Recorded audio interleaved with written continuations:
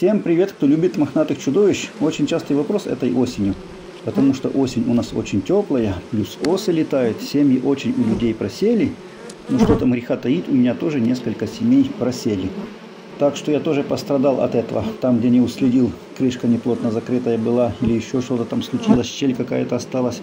У меня в этих ульях тоже семьи просевшие. Так вот, что делать, если семья просела критически? Потому что сейчас чаще всего задают именно этот вопрос. Если осталось мало пчел улье, какие шансы на их выживание? И недавно кто-то еще задавал вопрос, три улочки пчел, это мало или это нормально? И сколько надо для успешной зимовки пчел? Так вот, буду вам сегодня рассказывать по своему опыту, что вас ждет впереди, потому что я пробовал зимовать со слабыми семьями, экспериментировал, то есть такими вот бедолагами, и должен вам сказать, что не всегда это получается. Правда, бывает Случаются такие зимы, когда это происходит нормально, но чаще всего все это заканчивается плачевно. Итак, рассказываю. Что пишет книжка сразу? Давайте определимся. Что пишут книжки? Книжки нам пишут.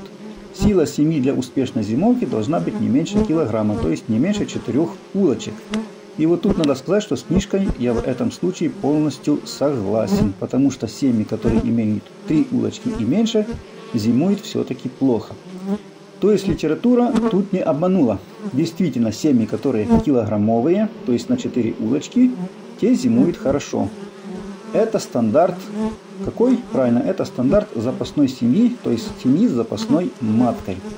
Если вдруг кто забыл, то я вам напомню, что сила семьи по ГОСТу для зимовки, для северных регионов это 10-12 улочек, для южных регионов это 8-10 улочек. А для регионов, где пчелы могут зимой облететься, то есть посреди зимы, а сейчас у нас именно такие зимы, то есть ни снега нету, и зимы теплые, стандарт нормальной семьи для зимовки в таких регионах считается 6-7 улочек.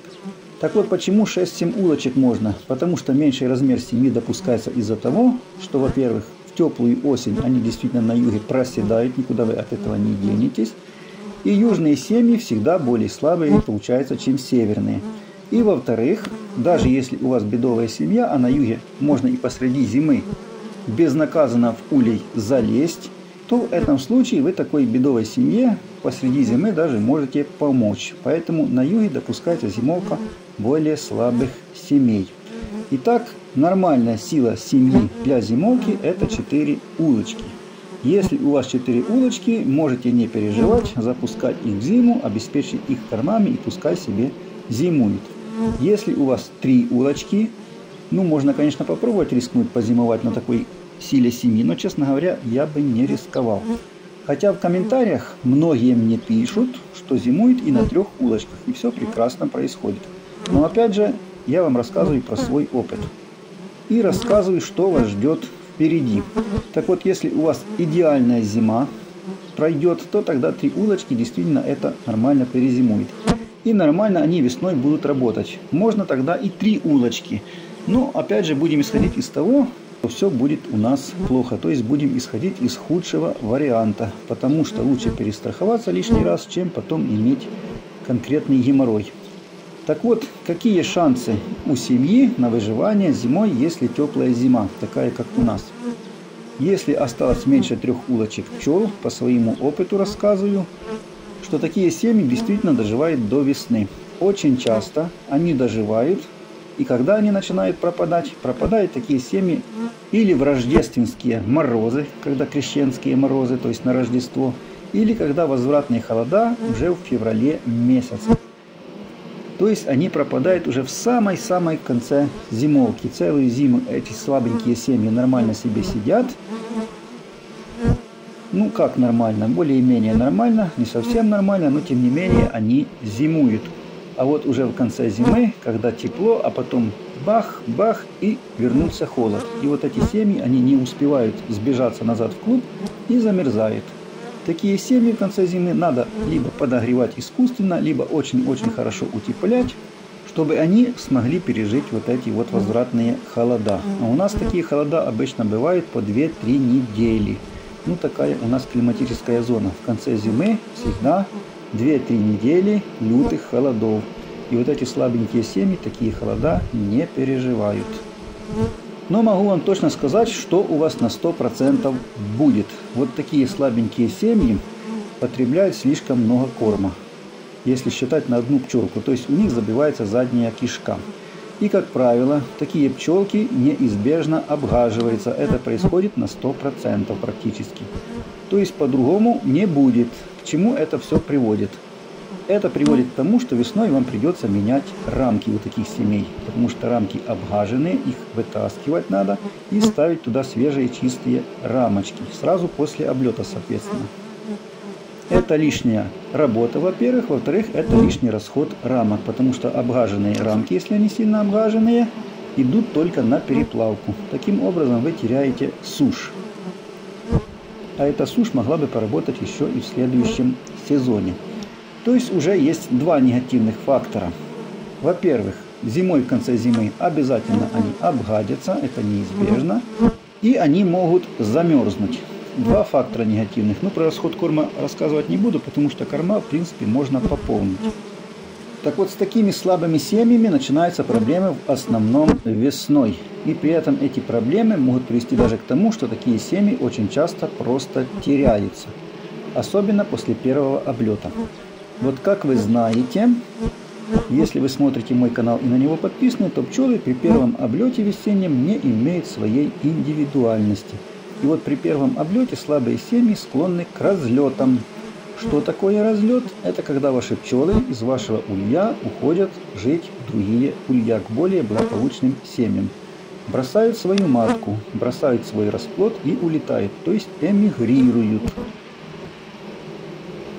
Вы приходите на пасеку, открываете улей, а там осталась матка и десяток пчел. Все остальные разбежались кто куда. Кто где пристроился, тот туда и улетел. То есть в семье слабенькой пчел не остается. Есть такой негативный фактор, он бывает и бывает довольно часто. Но если брать, допустим, в процентном соотношении, то есть таких слабых семей к разлетам склонны где-то 20-30%. 70% семей будут бороться за свою жизнь до последнего.